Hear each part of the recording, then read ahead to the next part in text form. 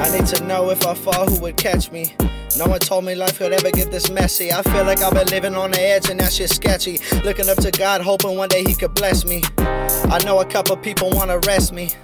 But I ain't going out like that. I'm too advanced in the world to be shot down like that. I had to move myself away, reset my life way back. Cause I was going through the empty path. Family didn't help it. Try to put in all my love, but they ain't never felt it. I know I differ from you all. There's something you won't help with. Instead of try to criticize me, I want y'all to cut me off and just forget I live. I lost the power for a change. I live in pain again. Growing up with all this damage seems to always win. I try to let it go, but always makes it right back in. That's why you see me giving up. The hardest part about it wasn't made it hard to love. Had to take me 20 years for me to find someone to trust. I try to tell my story, but I bottled up too much. Had my heart frozen shut, that eventually got crushed. Not easy living life when you ain't got no fucking crutch. All you got is you. So to myself, I gotta stay true. Cause if you let somebody in at some point, they'll take advantage and went straight through. That's what I prefer, so I refuse to let them in. I'm protecting what's left in my heart. Forgive me, I am formerly sin. I know some people frown upon it, entitled to an opinion. But I promise my life is not where you want it. You can choose to stick around or take it back where you forgot it. I'm trying to live a happy life. I'll cut you off just as promised. I'm